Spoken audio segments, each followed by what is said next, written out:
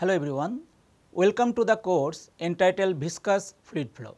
I am Professor Amaresh Dalal from the Department of Mechanical Engineering of Indian Institute of Technology, Guwahati. Viscous fluid flow covers the fundamentals of fluid mechanics from an advanced point of view with emphasis on the mathematical treatment of viscosity effects in Newtonian fluid flow. The knowledge of viscous fluid flow is required in the design of various components related to mechanical, chemical and other engineering devices.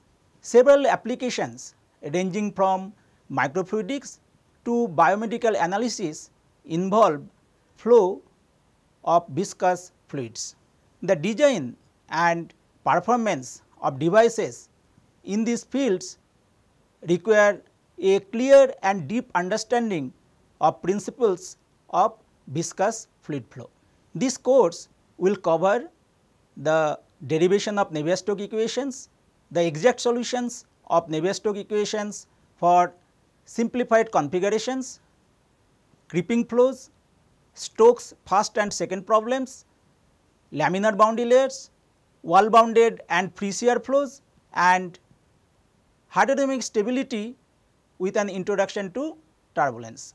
This course which has a largely analytical flavor will provide the students with knowledge about analyzing and solving viscous fluid flow problems.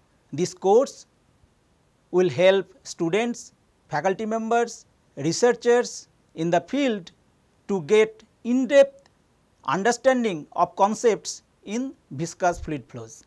A basic course in fluid mechanics is required as prerequisites. We hope to meet you in the course and we will have fruitful interaction in the course. Thank you.